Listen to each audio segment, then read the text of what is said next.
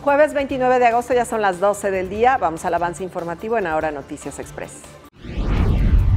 La Dirección de Atención a Migrantes respalda a familias tlaxcaltecas para que obtengan su visa americana y sean beneficiarias del programa Reencuentro Familiar y Cultural Tlaxcala, Estados Unidos.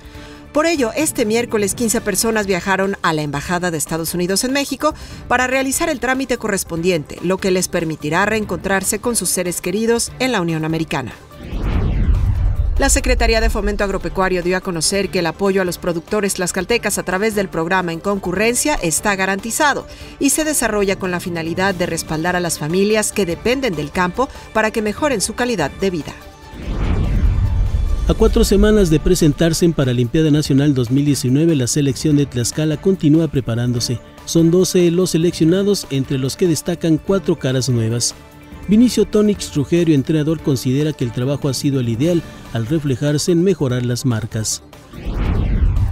La jefa de gobierno de la Ciudad de México, Claudia Sheinbaum, anunció el plan de acción inmediata de atención a la violencia contra las mujeres, que se integra por cinco ejes, entre los que destaca la creación de un banco de ADN de agresores sexuales.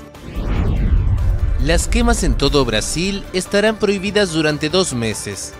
El presidente Jair Bolsonaro firmó el miércoles un decreto que busca tratar de frenar la multiplicación de incendios en la Amazonía.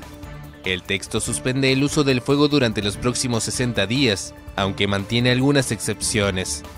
Bolsonaro enfrenta una creciente presión interna y externa por los incendios que se multiplicaron en la Amazonía en las últimas semanas.